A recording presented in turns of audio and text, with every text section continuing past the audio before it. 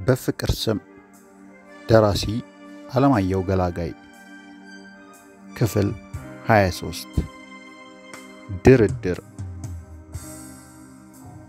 ሲፈን እንደመጣች እናቴን በባለንጀርነት ኩራት ጎተት አድርጋ በጆሮዋ አንዳች ነገር ነገረቻት።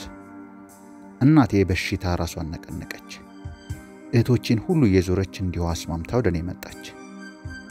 ሲፈንን ሳያትና ስትቀርበኝ እንደ መጀመሪያው ጊዜ ሁሉ የጥሬ ክምር ሆኜ መፍረስ ጀምሬያለሁ።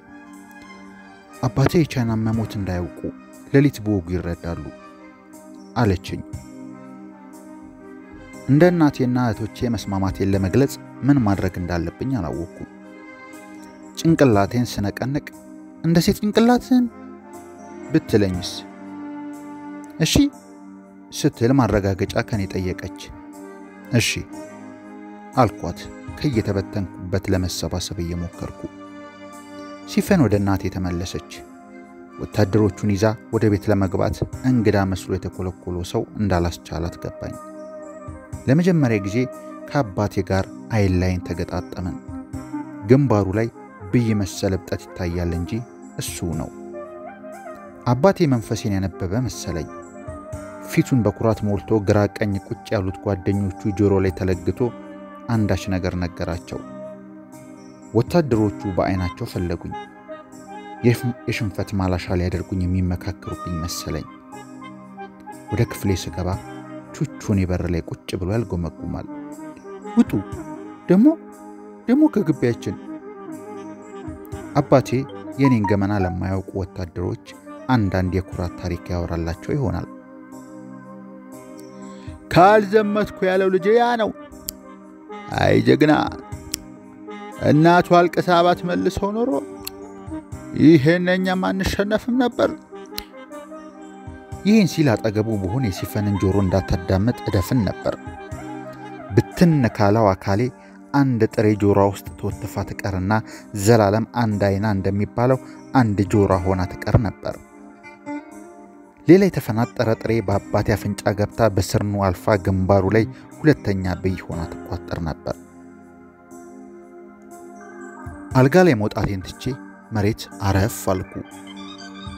ጥቂት እንደቆየሁ ወንዱ የሚል ድንጋጤ ሰማሁ። ጋሽ ተገኔ እንደሆኑ አልተጠራጠርኩም።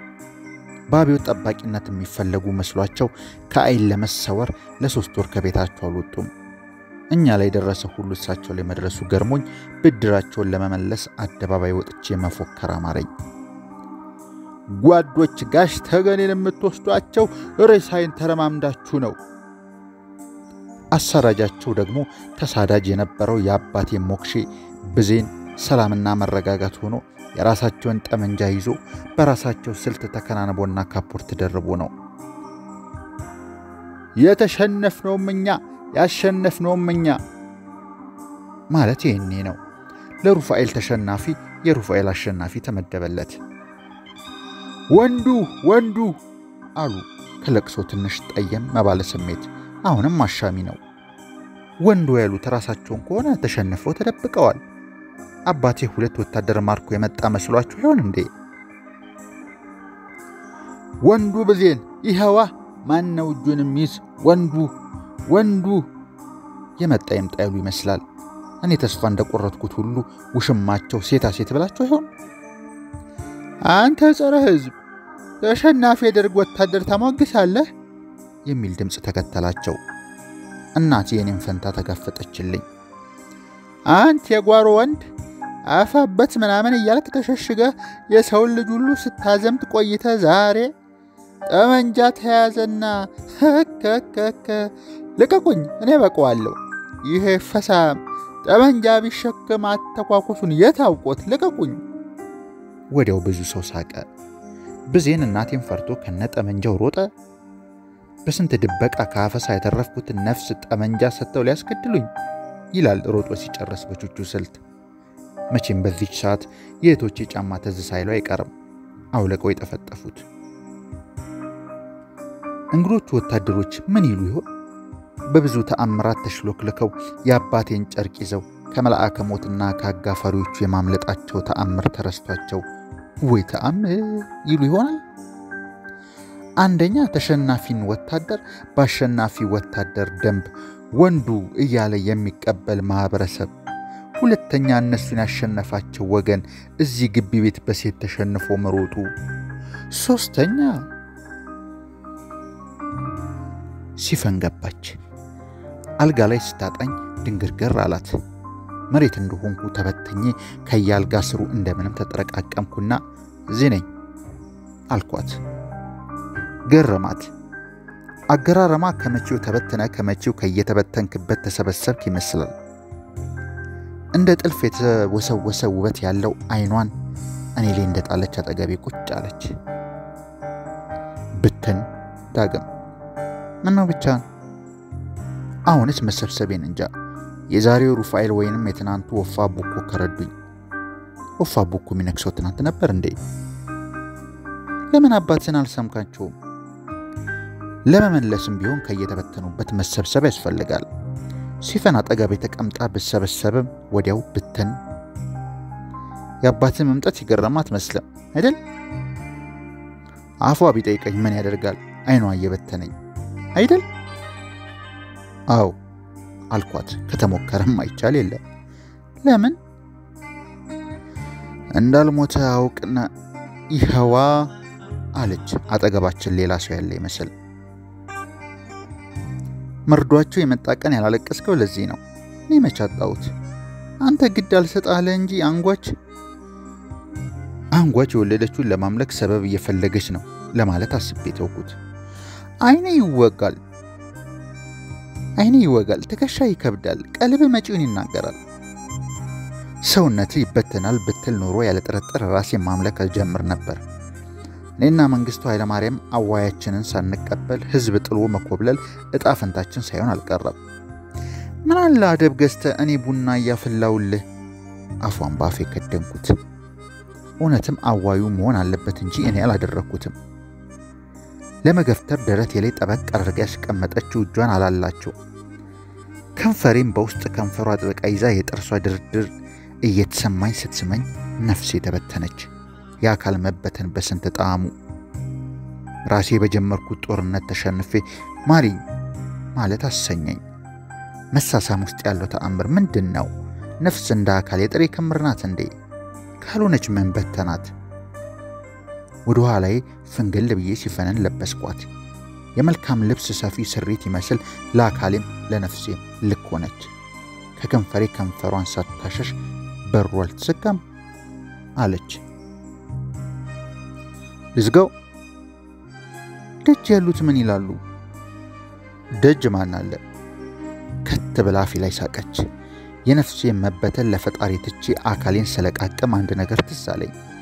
በእኔና በሲፈን መካከል አንዳች በአድ ነገር ገላችን እንዳይነካካ የፈለገ ይመስል ፍር ፍር እያለ ሲገፈታትረን በሳንቲም የተደፈነ ቀዳዳ ተፈንቅሎና የአፍታ ተክል አድጎ አየሁ። የሕልም ልክፍቴን በእውን ስራ ስር ተፈወስኩ። ሌሊት እመጣለሁ፣ ብሩ እንዳትዘጋው። ቹቹስ እሱን ተው ካለች በኋላ ፊቴን አይታ እሱስ ከዚህ አይቆይማ ይተኛል። ይህን ጊዜ ለአብርሃም ቃል የተገባው ዘርህም በምድር ሞለዋለው ሲፈን ከሰጠችው ተስፋ ጋር እንደማይነጻጸር ገባኝ። የሙሴ የተስፋይቱ ምድር የአርባ ዓመታት ፍለጋ ከሲፈን መምጫ ቃል ኪዳን ጋር አይኳኳንም። ምናልባት የተኮነነው አዳም ለመዳን ከሚጠብቀው የልጅ ልጅ ጋር በጊዜ ርዝመት ይኳኳን ይሆናል። ሲፈን እስክትመጣ ጊዜ አኝኮ ጨርሶ ለሞት ሲያቀብለኝ ሞት ከሰውነት ወደ አፈርነት፣ ከአፈርነት ወደ ትቢያነት፣ ከትቢያነት ወደ ብናኝነት ቀይሮኝ አየር ላይ የተንሳፈፍኩ እንኳን ብጠብቃት ሲፈን አትመጣም።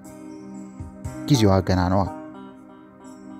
ሲፈን ቀሚሷን ወደ ታች እየሞዠቀች ከዚህ ቤት ከወጣች ስንት ዓመታት ተቆጠሩ። ነገር ግን ያለችው ያለችው ሌሊት ገና አልደረሰም። እናቴ ከቹቹ ወደ እኔ ያስተላለፈችው ፈጣን መንፈስ ይህን የሲፈንን ተስፋ መቋቋም ተስኖት ተንሸራቶ ወደ ዘገምተኛው ዓለም ገብቶ ይሆናል። ቹቹ እናቱን የረሳው ከእናቱ የተለየበት ጊዜ በቹቹ አቆጣጠር በምዕተ ዓመት መሰፈር ስለጀመረ ይሆናል። እኔና ቹቹ በአሁኑ ሰዓት አንድ ነን። እናቴ በከንቱ ኃጢአት ገባች፣ በልጆቿ ተናቀች እንጂ አሁን ብትመጣ እኔና ቹቹ መለየት ይሳናት ይሆናል። ምናልባትም ደግሞ ደሞ ደሞ ስላት ጠብቃ ጠብቃ እናት ናትና ተስፋ ባለመቁረጥ ስትጠብቅ ሰማይና ምድር ያልፉ ይሆናል። የእናቴ ጥበቃ ግን አያልፍም። ምድር እልል አለች። የሩፋኤል ታቦት ገባ ማለት ነው። የእውነት ቤቱን ጠላሁት። የቹቹ መንፈስ በቤቱ ላይ ረቧል። ሁሉም ነገር ይዘገያል። በይበልጥ የተፈለገ ነገር ያዘግማል። ማዝገም ውስጥ የእንቅስቃሴ ለውጡ ቢዘገይም አለ። no no no no no no no እዚህ ቤት የተፈለገ ነገር ይቆማል። ቹቹ ከተደረገበት በላይ በእኔ ላይ ተደረገ። ቹቹ ከተበደለው በላይ ተበደልኩ። ከክፍል ስወጣ አባቴ ገፈቱን በምላሱ እያፈናጠረ ያወራል። እንደ ተረት አባት እስሩ የተኮለኮለው ሰው ከአፉ የሚዘንበውን በአንክሮ ያደምጣል። አብረውት የመጡት ወታደሮች እንኳን አብሮን የኖረውን ሰው ምን ነቢይ ያደረገው በሚል ድንቅ ሐሳብ ያደምጡታል። ጥይት ስንል እንዲህ ቢፈጥኑ፣ ሬሽን ስንል እንዲህ ቢፈጥኑ ጥሩ ነበር። ሰው ሞተ ብሎ ለማርዳት እንዲህ መቻኮል፣ የሚገርመው ያንቺ አምኖ እንዲህ መጎሳቆል። አባቴ ጥሩ ተናጋሪ አይደለም። ብዙ ሰው እያዳመጠው እንደሆነ ረስቶ ለሚስቱ ብቻ ያወራል። ሰው ሁሉ ጠላ ይዟል። ሲጠመቅ ያልታየ ጠላ ከጉድጓድ ተደነበቀ። መቼም ያለ ሻጥር ጥይት ስንል ሬሽን፣ ሬሽን ስንል ጥይት ይላክልናል። አረፍ በሉ ከተባለን የሚወጋን ይመጣል። ተዋጉ ከተባለን ምናምኒት የለም። መሄጃችንን የሚያውቀው ጠላት ነው። እንደ ባቢሎን ዘመን ቋንቋችን ተዛንቆ ፈረስን። የእግዚአብሔር ቁጣ ነው። የአባቴን ፊት ለማየት ስሞክር የግንቢው ላይ የግንባሩ ላይ እጢ ትቀድማለች። ሲያወራ እንደ መንጋጭላ አጥንት ትንቀሳቀሳለች። እንደኛ ብርታት ቢሆን አፍሪካን ጠቅልለን ነበር። እንደኛ መስዋዕት ቢሆን እንኳን ኢትዮጵያን አፍሪካን አንድ ባደረግን። ታዲያ የእግዚአብሔር ፈቃዱ ያልሆነ ሆኖ አባቴ ሲያወራ የሚንቀሳቀስ የግንባሩ ላይ ብዩን አያለው። አንዳንዴ የአባቴ አፍንጫ፣ ዓይንና አገጭ ጠፍቶ ቆዳ የለበሰ ብይ ብቻ ይሆናል።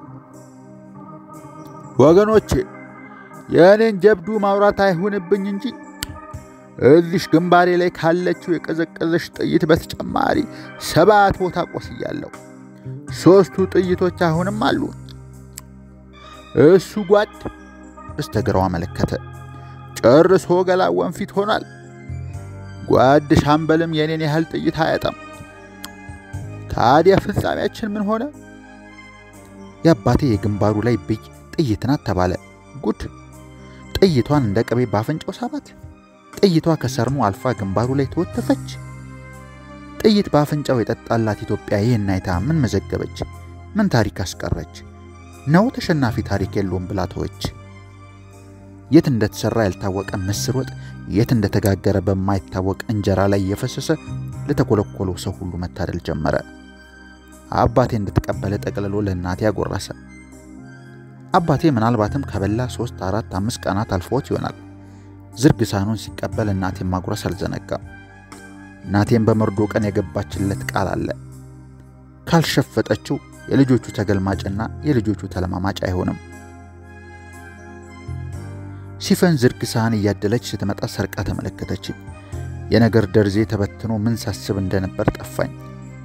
እንኳንም እኔ ያልተበተንኩ እያልኩ ሳህኑን ከእጇ ተቀበልኩ። ከኋላዋ ያለችው ረቂቅ እንጀራ ስታደርግልኝ ሳህኑን በወጉ አልያዝኩት ኖሮ ሚዛኑን ስቶ ሊወድቅ ነበር። እንደምንም ሳተርፈው ረቂቅ ኦሆሆይ አለች እንደ ቴቱ። ኦሆሆይ ይብላሽ አልኳት።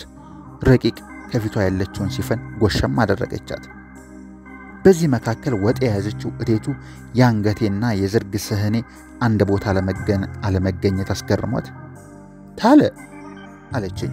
ጭራሽ ተደነባበርኩ። ወጡን አድርጋለኝ ስትሄድ ኦሆሆይ አለች። ይህን ዱዳ፣ ይህን መካን፣ ይህን እውር ቃል ማልሰማበት የት ልሂድ? ይቀጥላል።